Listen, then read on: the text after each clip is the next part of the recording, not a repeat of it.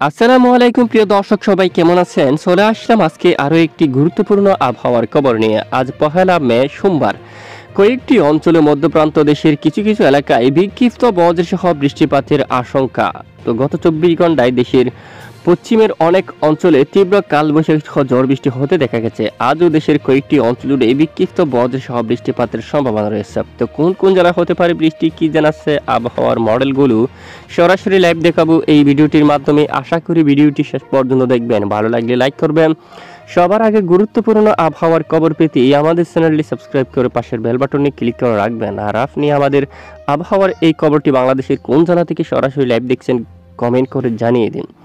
এই মুহূর্তে আপনারা দেখতে পাচ্ছেন গতকাল পশ্চিমবঙ্গের অনেক অঞ্চলে পশ্চিমবঙ্গ, ওয়েস্ট বেঙ্গলের এই যে কলকাতা, হালদিয়া, তারপর ঝাড়গ্রাম, খড়গপুর, এছাড়া আমরা দেখতে পাচ্ছি এখানে দামবাদ, তারপর অনেক অঞ্চলে তীব্র কালবৈশাখী সহ প্রচণ্ড ঝড় বৃষ্টি তৈরি হয়ে পরবর্তীতে ধীরে ধীরে পূর্ব দিকে অগ্রসর হয়ে খুলনা বিভাগের অনেক অঞ্চলে বৃষ্টিপাত ঘটায়। এছাড়া খুলনা বিভাগের একদম উত্তর দিকে যশোর, ঝিনাইদহ, পাবনা, তারপর এদিকে রাজশাহী বিভাগের অনেক অঞ্চলে তীব্র কালবৈশাখী সহ প্রচণ্ড ঝড় বৃষ্টিপাত হতে দেখা যায়।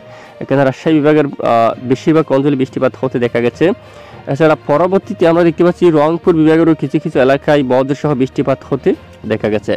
এছাড়া এখানে পরবর্তীতে ঢাকা বিভাগের উপর বৃষ্টিপাত ঘটায়। ঢাকা বিভাগের উত্তরে কিশোরগঞ্জের দিকে, যে কিশোরগঞ্জের পার্শ্ববর্তী অঞ্চলে বৃষ্টিপাত ঘটায় ময়মিসহ বিভাগের উপর কিছুটা বৃষ্টিপাত ঘটায়।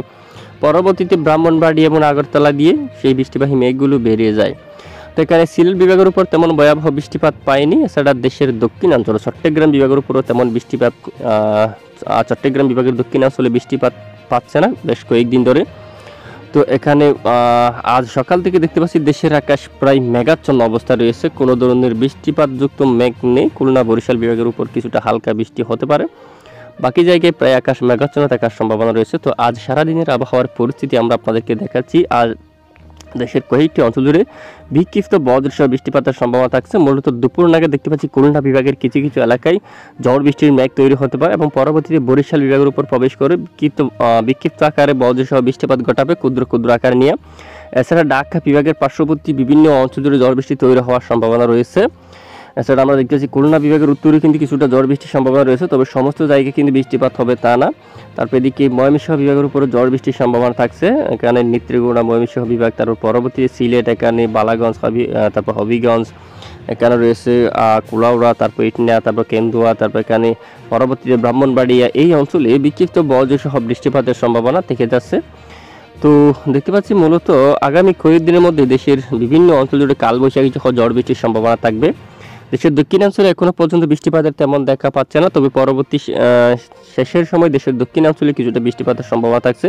আর কয়েকদিন পর এখানে চট্টগ্রাম, কক্সবাজার কুতুবদী উপকূলীয় অঞ্চলে কিন্তু কিছুটা বৃষ্টিপাতের সম্ভাবনা রয়েছে আর কয়েকদিন পর।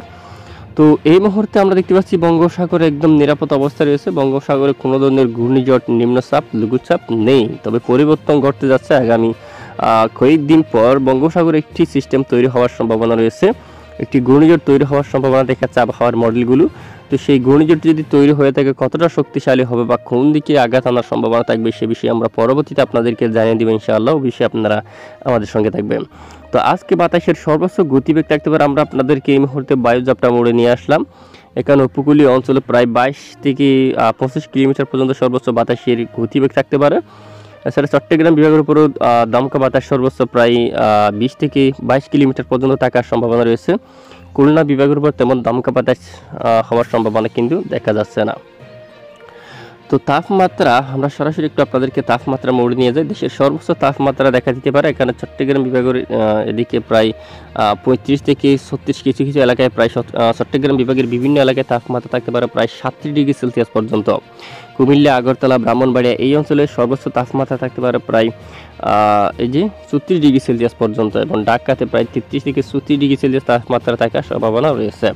খুলনা বিভাগের উপর সর্বোচ্চ তাপমাত্রা থাকতে পারে তিরিশ থেকে কিছু কিছু এলাকায় তেত্রিশ ডিগ্রি সেলসিয়াস পর্যন্ত। বরিশাল বিভাগের উপর সর্বোচ্চ তাপমাত্রা ছত্রিশ ডিগ্রি সেলসিয়াস পর্যন্ত থাকার সম্ভাবনা রয়েছে। তো এই হচ্ছে মূলত আজকের আবহাওয়া রিপোর্ট। প্রতিদিন নিয়মিত চটি খবর সবার আগে পাওয়ার জন্য আমাদের সাথে থাকবেন। আর এতক্ষণ আমাদের সাথে থাকার জন্য ধন্যবাদ।